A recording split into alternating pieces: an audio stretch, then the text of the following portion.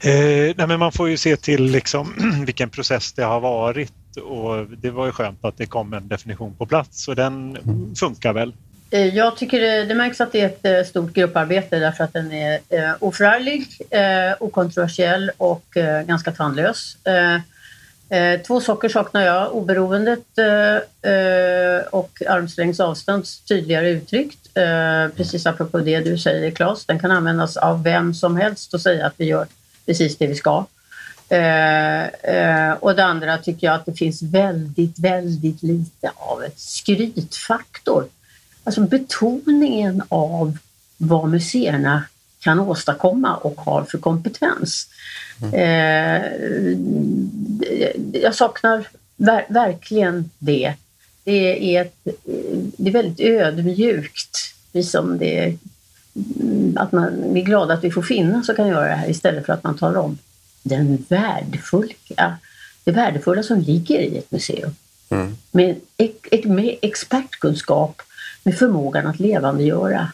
Ja, jag tycker det var tunt. För mycket handlar det liksom om att, eh, att ändå definiera ett modernt uppdrag. Det var ju liksom det man var bak, bakgrunden till revideringen. Här. Men Eh, jag tänker att för oss så handlar det mer om att eh, kunna ha, det är precis som med kulturplaner eller någonting annat, att ja, men nu har vi en definition av vårt uppdrag eh, och det innebär ju också att då kan man kan argumentera i, i opinionssammanhang eller i relation till politiker att det här är vårt uppdrag. Hur, hur kan ni liksom underlätta det för oss? Alltså säga att vi ska jobba med hållbarhet. Ja, men då, vad innebär det då för oss? Eh, vilka pengar finns det? Vad innebär Region Norrbottens hållbarhetsplan för Norrbottens museum? Vi har det här uppe. Så att det blir ett, ett argumentationsunderlag, tänker jag. Sen tror jag ju inte att det här kommer kanske vara det som eh, används närmast verksamheten i, på alla museer i Sverige, om man nu säger så. Utan jag tror att det handlar mycket om de här etiska reglerna snarare och hur man då sen implementerar den här eh, och uttolkar den, för det, det ska uttolkas också.